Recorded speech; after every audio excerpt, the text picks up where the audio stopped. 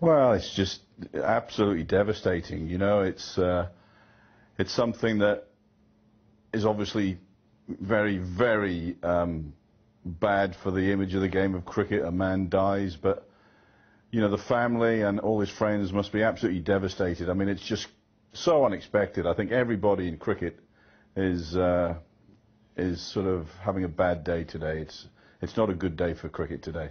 And this story has particular resonance for you, of course, because of what happened to you back in 1984. Just remind us of that.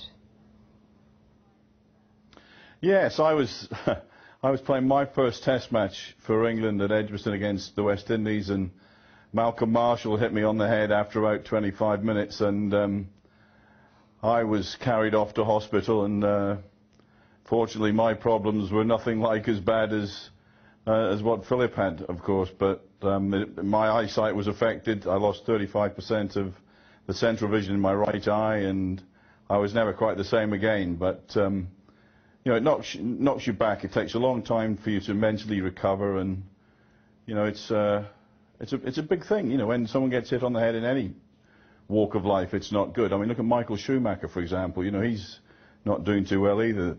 I believe. And, um, you know, the, these head injuries really are random, and this one is just devastating. It's awful. Uh, and what impact do you think this will have on Phillip Hughes' teammates?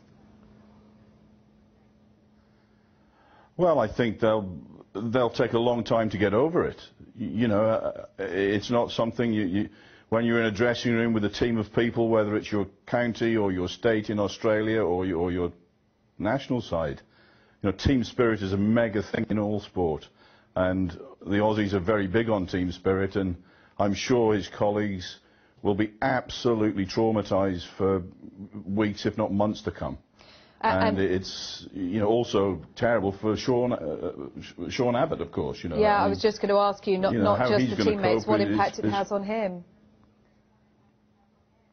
Yeah, I, I mean, you know, obviously in every fast bowler's armoury is the bouncer. You know, it's part of the game, and it's it's a ball that is used sparingly, but you know, with a lot of thought on many occasions. And uh, you know, it, he'll probably never bowl a bouncer again. I mean, if he ever plays again, I mean, I think he was quite friendly with Phillip Hughes, and you know, for this to happen to a, to a okay a rival, uh, and on the field, you know, there's no quarter asked or given, but you know, this kind of consequence is just unimaginable. I don't think anybody can put themselves in Sean Abbott's position and say how they would feel because it's not happened before.